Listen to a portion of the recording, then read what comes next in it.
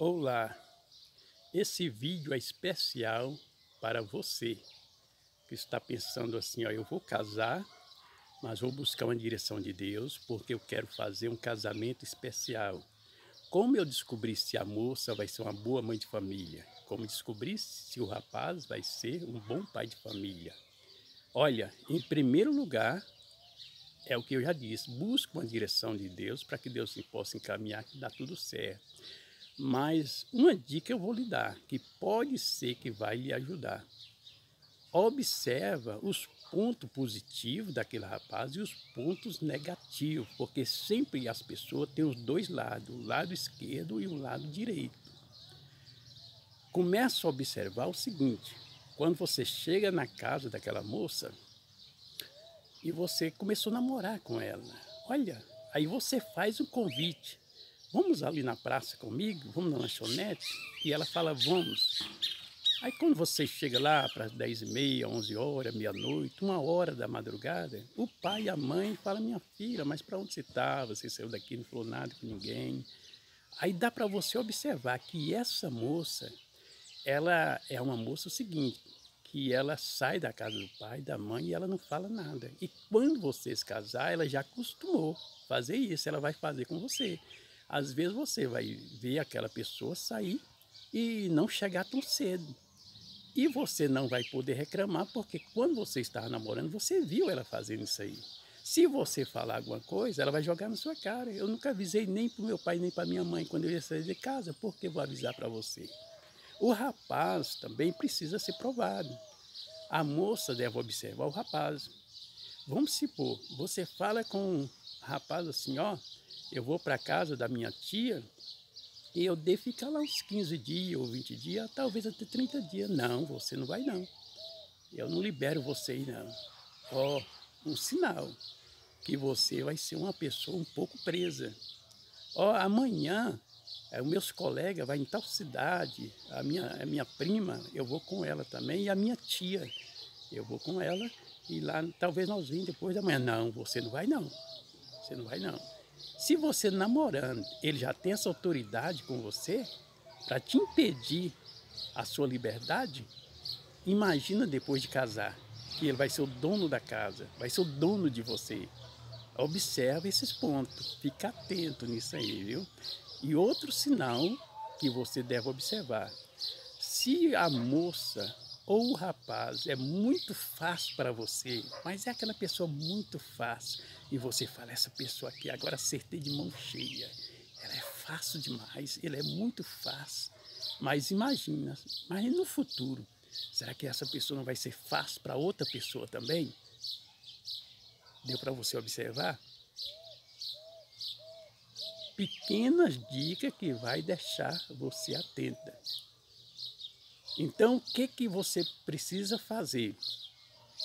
Usa a experiência de um gerente de fazenda quando está precisando de uma vaca boa, que dá renda, produz muito leite, uma vaca tranquila que vai ser para ordenha. Ele olha o que? A descendência, da onde aquela vaca veio. Se ela é uma vaca sempre filha de uma, uma criação que já foi criada na ordenha, se os, os, as, a mãe dela, o pai dela tem uma procedência boa, se for, ele fala, tem mais ou menos 90% para essa bezerra no futuro ser uma criação muito boa. Mas se veio de uma procedência violenta, muito brava, quebra cancela, quebra curral, quebra tudo, você entendeu? É, machuca é, quem está cuidando dela e tudo. Aí ele falou, oh, essa criação para mim não dá certo. Você entendeu? Só que você precisa ficar sabendo que na família às vezes é diferente. Existe família que é tudo bagunçado, o pau quebra mesmo, você entendeu? E entre aquela família, às vezes nasce uma pessoa tão bacana que você fala é Deus na vida dessa pessoa. Eu vejo que é Deus, ela é exemplar na vida da pessoa. É como se fosse os dedos da mão. Nem todos os dedos da mão é igual e nem todas as pessoas da família é igual. Mas fica atento à descendência da pessoa que pode ser que o rapaz vai puxar o pai, aquele pai que batia é, na mãe dele, arrastava a mãe pelos cabelos, jogava a mãe para lado de fora, trancava a porta, deixava dormir lá fora. Quando fazia a feira, trancava no, caixote, no, caixote Você entendeu com que é? Para a família ali não comer do alimentar guardado. Você entendeu com que é? Quando recebe um salário ali, a esposa não tem direito de um centavo para comprar uma sandália, para comprar uma roupa ali, que ele não libera nada, entendeu com que é? Aquele, aquele, aquela família que tudo que pega é para extraviar com outras coisas, e pouco traz para dentro de casa, extravia o salário tudo de uma noite para um, um, dia. Então você já fica atento com esse rapaz. Mas pode ser que esse rapaz, Deus entrou na vida dele, ele vai surpreender, vai ser uma pessoa muito diferente daquela família. Eu conheço pessoas que é filho de pessoas beberrão, que às vezes cai na rua para ficar babando ali no chão, ali, você entendeu o que é?